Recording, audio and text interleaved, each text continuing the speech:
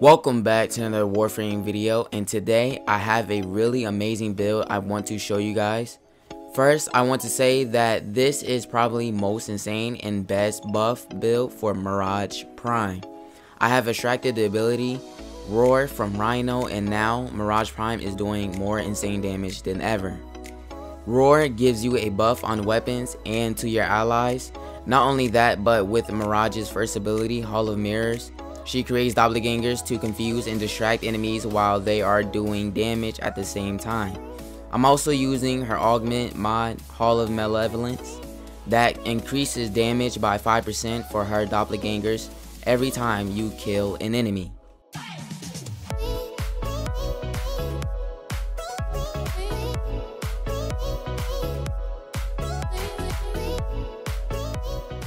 For keeping up health, I am using a arcane on my operator called Magus Elevate.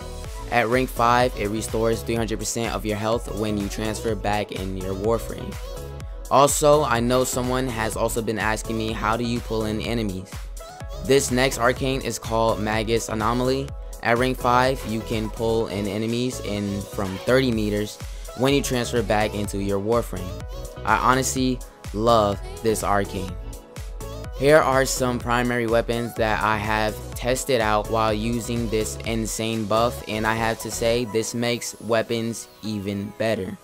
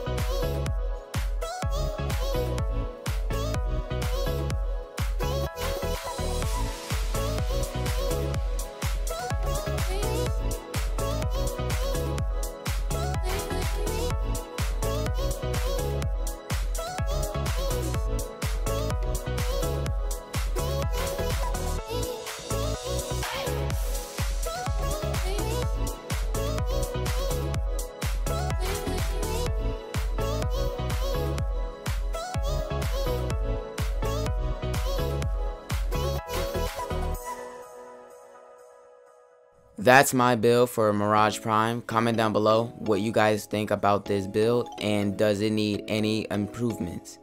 If you enjoyed the video, leave a like and subscribe if you're new to the channel.